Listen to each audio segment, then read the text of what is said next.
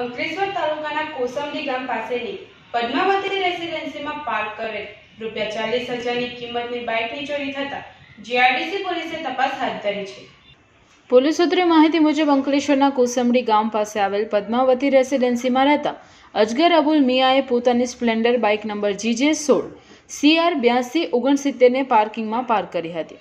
દરમિયાન વાહન ચોરો તેઓની બાઇકની ચોરી કરી ફરાર થઈ ગયા હતા તેઓએ બાઇકની શોધખોળ કરતા બાઇકનો કોઈ પત્તો ન લાગતા જીઆઈડીસી પોલીસ મથકમાં ફરિયાદ નોંધાવી હતી